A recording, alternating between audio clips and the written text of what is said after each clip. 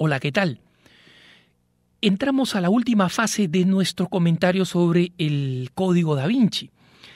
Como habíamos dicho en los programas anteriores, hay ocho errores fundamentales en el libro de Dan Brown y también de alguna manera reflejados en, en la película eh, de inminente estreno. Y básicamente lo que eh, nosotros tenemos que comprender es que junto con los seis errores que ya hemos mencionado, existen dos errores más en el código da Vinci. El error número siete es la negación de la continuidad de la iglesia. ¿no? Según eh, el código da Vinci, Constantino prácticamente creó la iglesia fusionándola con otros ritos paganos. ¿no? Pero Dan Brown ignora los primeros escritos de la iglesia, que son 200 años previos a Constantino. Y vemos que todo lo central de lo que hoy en día es la iglesia está allí. La Eucaristía, la resurrección, el mandato apostólico, etc. ¿no? Y uno de los testimonios más hermosos en este sentido es San Ireneo de León.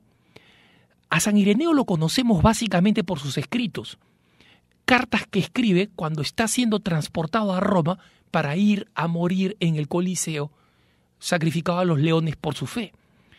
Y en todas estas cartas, Ireneo deja uno de los primeros grandes tesoros escritos de doctrina de la Iglesia, y en ellas, además de dejarnos una sanísima doctrina que forman parte ya del magisterio de la Iglesia, nos revela algunas cosas sumamente interesantes. El que muere el año 202, que nace el año 125, nos cuenta que era discípulo de Policarpo, de San Policarpo de Esmirna, ¿no?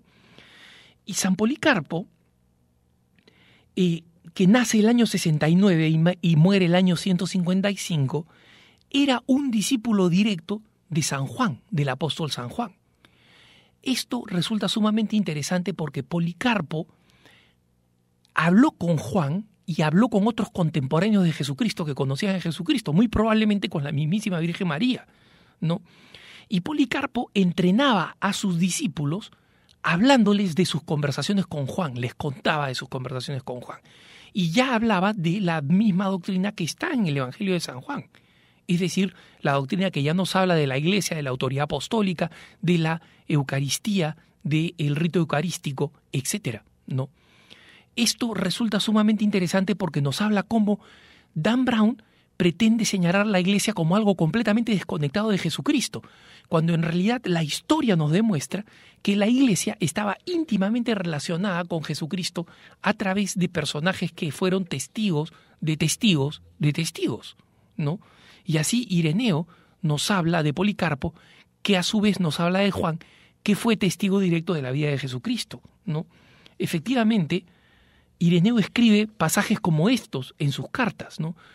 Yo he visto cuando era un muchacho en Asia Menor en compañía de Policarpo, yo claramente recuerdo los incidentes mejor que eventos de reciente ocurrencia.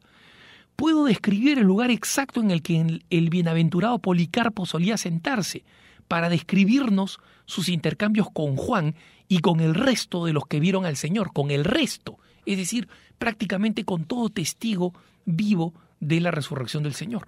Está claro entonces que Dan Brown, cuando quiere achacarle a Constantino la creación de la iglesia de la nada, en realidad está demostrando o una ignorancia de la historia o una mala fe que deliberadamente quiere dejar de lado los datos históricos y los datos bíblicos de los hechos objetivos. ¿no?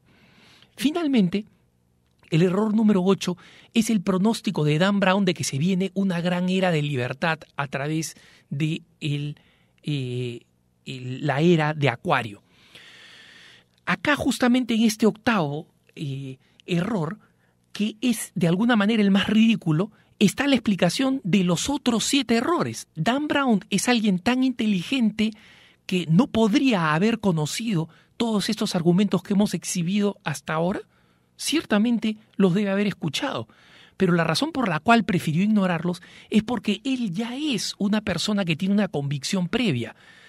Él no es una persona que llega a una conclusión, es una persona que parte de ella, que comienza de esta, de esta conclusión, que es que la nueva era y que en general los astros, los signos del zodíaco, el horóscopo en última instancia, gobiernan la vida humana, ¿no? Entonces, cuando Dan Brown nos promete una gran época de libertad, donde nosotros vamos a pasar, como Dan Brown señala, ¿no?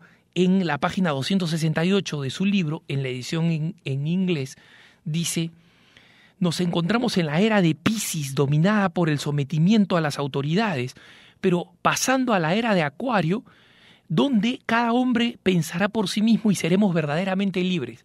Bueno, pero si la libertad va a venir como producto de un cambio en las estrellas y que el hombre no la ha elegido, sino es impuesta por el hombre por la manera como están alineados los astros en, eh, la Vía Láctea, ¿cómo puede Dan Brown hablar de que nos llega la libertad? Si la libertad no es una opción del hombre, sino que es impuesta por un cambio zodiacal. Después, cuando venga la época de Tauro, cuando venga la era de Sagitario, qué sé yo, digo por mencionar algunos de los signos del zodíaco, ¿qué cosa va a pasar? ¿El hombre va a terminar siendo asá? ¿El hombre va a terminar siendo de esta otra forma? Es decir, van a ser los signos del zodiaco los que cambian al hombre. Entonces el hombre no es libre. El hombre no es más libre que las mareas acuáticas que son gobernadas por la cercanía o lejanía de la luna, ¿no? De la misma manera, si es que nosotros hemos sido autoritarios no porque hemos decidido optar por el pecado, sino porque así es la época de Pisces y ahora vamos a ser libres no porque hemos elegido, sino porque así nos va a imponer eh, los astros, vemos que caemos en una contradicción absolutamente insufrible e inaceptable. No puede haber libertad como producto de la esclavitud. La esclavitud de los astros no nos puede hacer libres.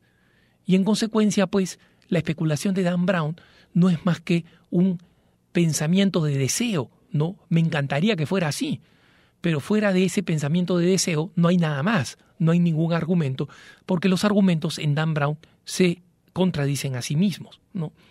Por eso es importante comprender que nosotros estamos llamados a vivir como evangelizadores, tenemos que ser maestros que enseñen el Evangelio. Eso es lo que nos pide Jesucristo. Pero primero para eso tenemos que ser personas que vivan el Evangelio, que vivan el Evangelio de Jesucristo y que estén convencidos, que estemos convencidos que como dice la carta a los Hebreos, Jesucristo es el mismo ayer, hoy y siempre y que no debemos dejarnos atraer por doctrinas llamativas o extrañas. Esto también lo dice la carta a los Hebreos. No dejéis atraer por doctrinas llamativas o extrañas. ¿no? Y en consecuencia, tenemos que poner mucha menos atención en estas cosas y mucha más en conocer, vivir y testimoniar la doctrina de la Iglesia tal como ha sido revelada por Jesucristo. Que tengas un buen día.